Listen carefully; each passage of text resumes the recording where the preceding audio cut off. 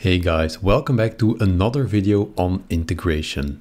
In this session, we'll be solving integrals of goniometric functions using the t-formulas substitution. This method is particularly useful when we have to integrate rational functions with sines and cosines. We'll be solving two exercises step by step, explaining everything along the way to avoid any confusion or misunderstanding. The timestamps can be found in the comments below, where you can also ask any questions you might have. And with that, let's get into the first exercise.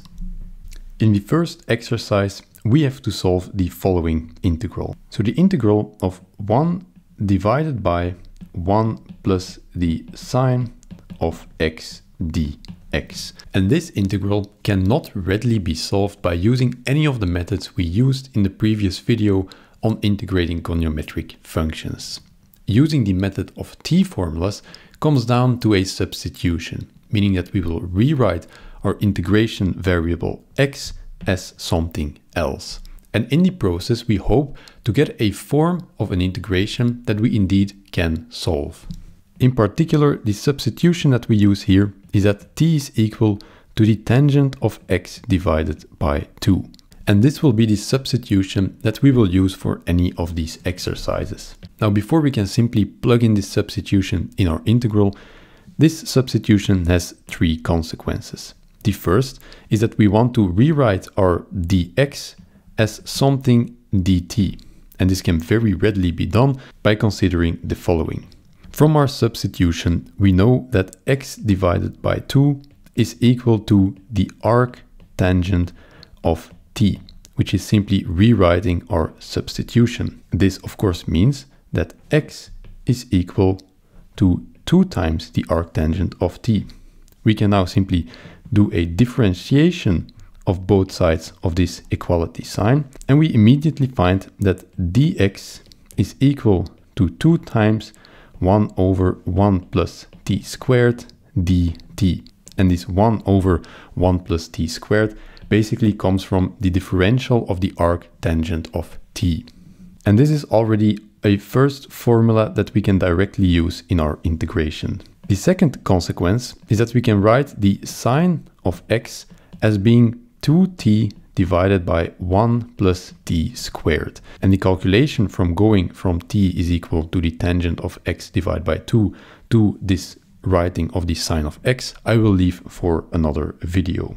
And a third consequence is that we can write the cosine of x as being 1 minus t squared divided by 1 plus t squared. And it is these three relations that directly follow from our substitution that we can now use to solve our integral. Because we can simply rewrite this dx with what we have found here, and we can rewrite the sine of x with what we have found here. And we can rewrite our integral as follows. So in the enumerator, we simply have 2 times 1 over 1 plus t squared dt, which is simply rewriting dx. And in the denominator, we have 1 plus, which we simply copy, and then we rewrite the sine of x as 2t divided by 1 plus t squared. And we see that we've now rewritten our integral with goniometric functions as an integral without any goniometric functions. Granted, they are encapsulated in this t, however the form of this integral is now just an integral of a rational function of a single variable t. And in order to solve this integral, we first rewrite it a little bit. We have 2 times the integral of, and this 2 times comes from this 2, which is a constant and we can put outside of the integral. In the enumerator, we simply have 1 over 1 plus t squared dt. And what we do in the denominator is we put these two terms on an equal denominator, namely 1 plus t squared. And how can we do this? Well, we multiply this 1 by 1 plus t squared divided by 1 plus t squared. So we multiply by 1 and we get the following. So we get 1 plus t squared plus 2t times 1 over 1 plus t squared. And we see that we indeed get the same denominator back because if we multiply this 1 over 1 plus t squared with 2t, we get exactly this term. And if we multiply this 1 over 1 plus t squared with 1 plus t squared, we of course get this 1 again. And we directly see that we can cancel these two fractions to simplify our integral, which then becomes 2 times the integral of 1 divided by 1 plus 2t plus t squared dt. And the next step is to realize that these three terms can be taken together to form a perfect square, namely 1 plus t squared. And we can easily check this by calculating this perfect square and indeed getting this result again. And now we are practically done, because it is very easy to solve this integral by a simple substitution. So we have the integral of 1 over t plus 1 squared, d of t plus 1, because we can always add a constant number in our differential, because the differential of a constant number is 0. And we see that we've written our integral as the integral of 1 over something squared d something.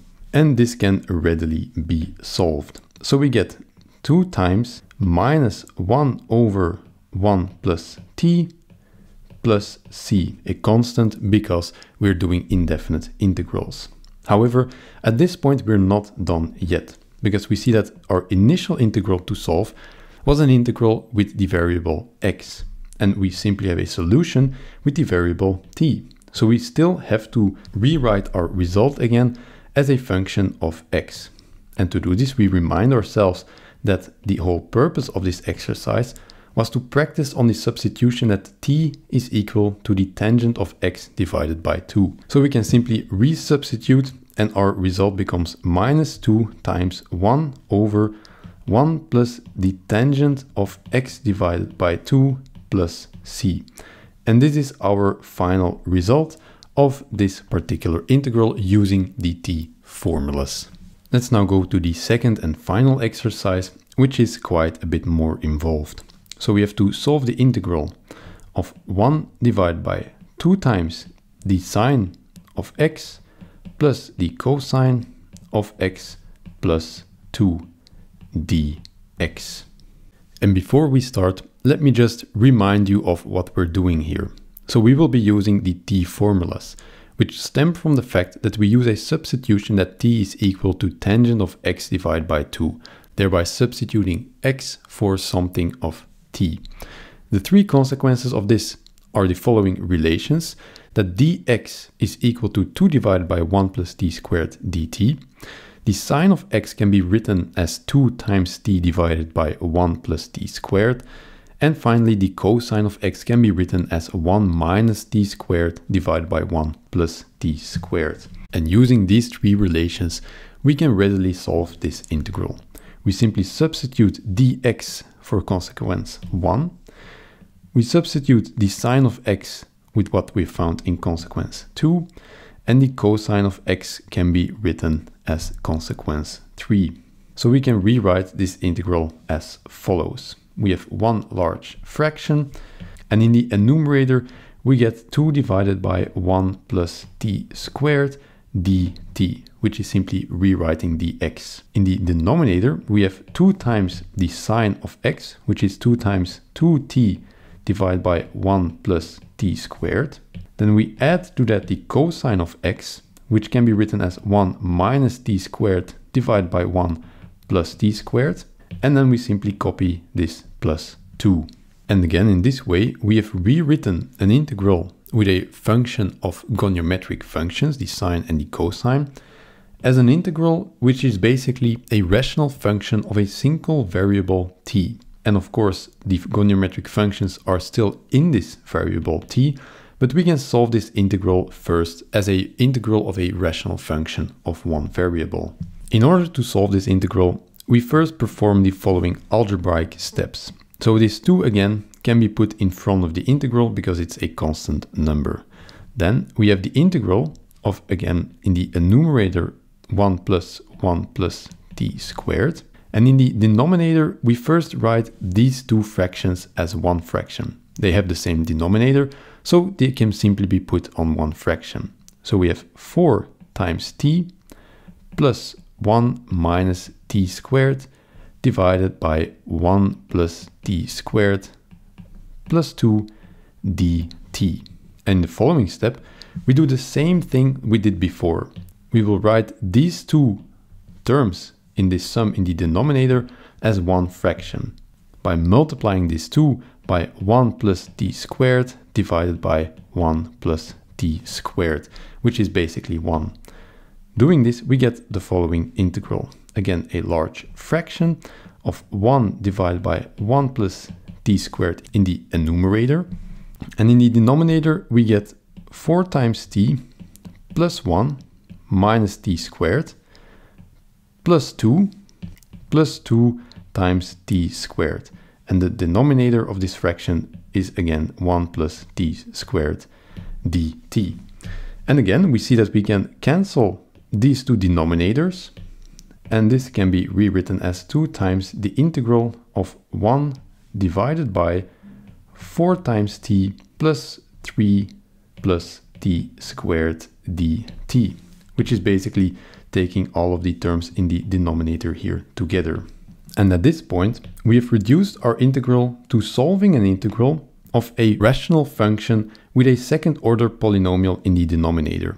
And we know how to solve these types of integrals simply by using the method of partial fractions, on which I did a detailed video, which I will link down below. The first step of partial fractions is to find the zeros of the second order polynomial that we have in the denominator.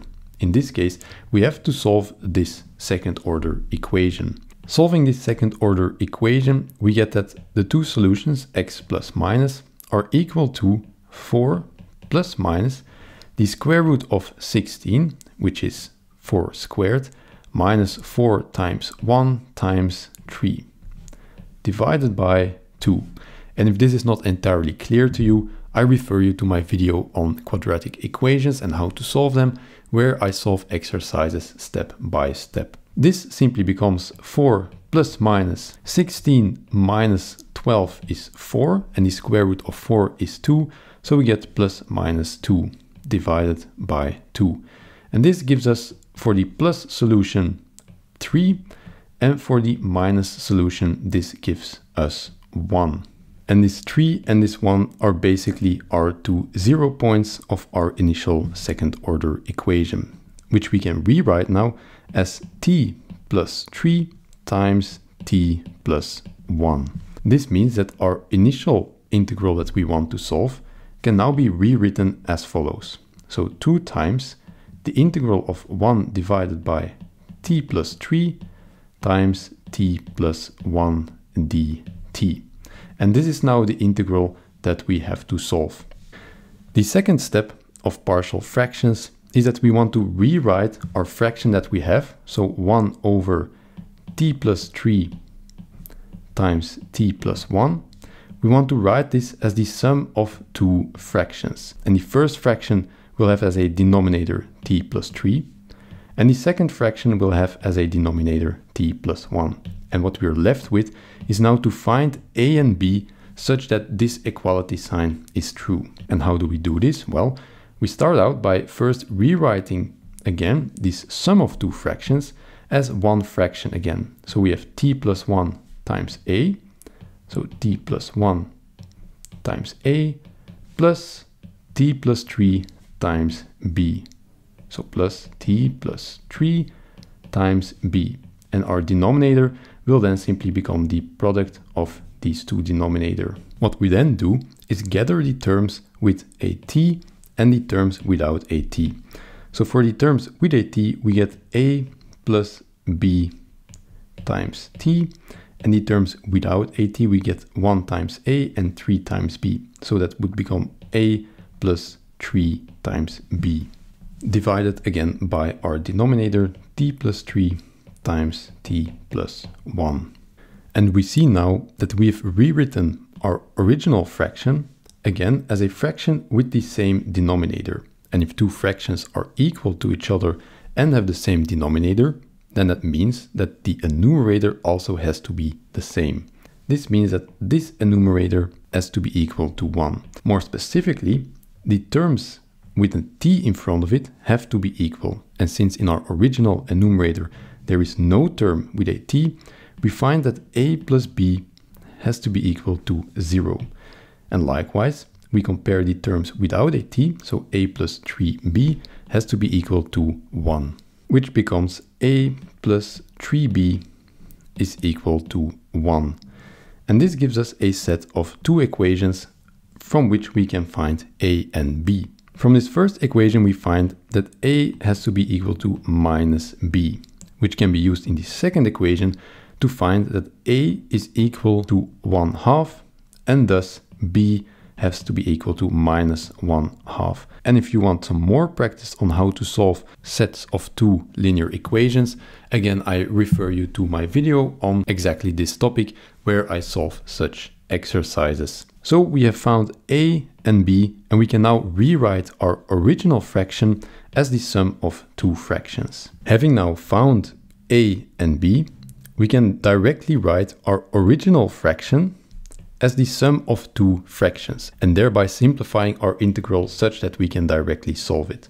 Our integral becomes 2 times the integral of 1 half divided by t plus 3 minus 1 half divided by t plus 1 dt, which is basically just filled in this sum with a equals to 1 half and b equals to minus 1 half. And thus at this point we are almost done because this integral can basically be rewritten as 1 times the integral of 1 over t plus 3 dt minus 1 times the integral of 1 over t plus 1 dt, where each time we've put the 1 half in front of the integral. Again, these integrals are very easily solved by doing a very straightforward substitution. So we get the integral of 1 divided by t plus 3 d of t plus 3 minus the integral of 1 divided by t plus 1 times d of t plus 1. And at this point we are really almost done because we know that the integral of 1 over something d something is equal to the logarithm of the absolute value of that something, which is what we will use now. So we get the logarithm of t plus 3 minus the logarithm of t plus 1 plus c of course since we're doing indefinite integrals. And this can still be rewritten slightly because we know that the logarithm of a minus the logarithm of b is simply equal to the logarithm of a divided by b. And we can write this as the logarithm of the absolute value of t plus 3 divided by t plus 1 plus this constant c.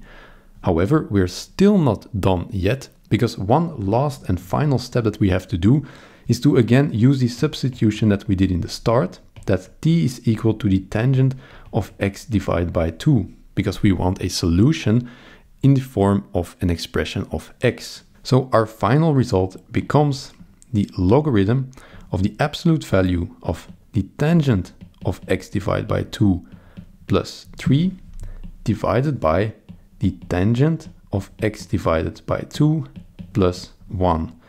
And of course, this plus c should not be forgotten. And this is our final result. And this brings us to the end of this video. And I hope that you now are more familiar with how to solve integrals using the t formulas. If you have any questions or suggestions for future topics, leave a comment in the comment section below. If you liked the video, give it a thumbs up and if you want to get notified by future releases, consider subscribing. And with that, I thank you for watching and I will see you guys in the next one. Bye.